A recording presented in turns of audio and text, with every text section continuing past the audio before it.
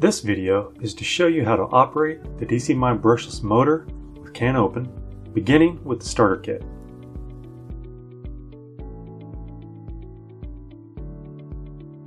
In the starter kit, you will find all cables and connectors needed, as well as the software to install on your PC.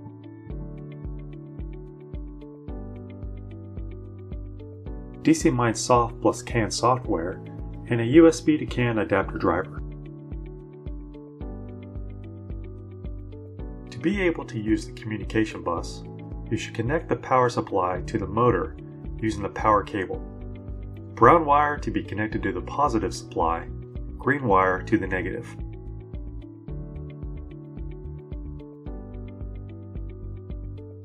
A motor is connected to the PC using the motor USB connector, or the CAN connector and a USB to CAN adapter.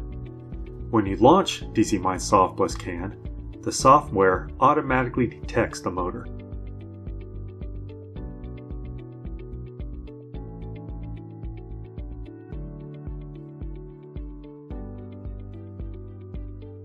Open the drive window. First, read the motor's original settings and save them to your PC. Doing that will allow you to come back in the future to see these original settings.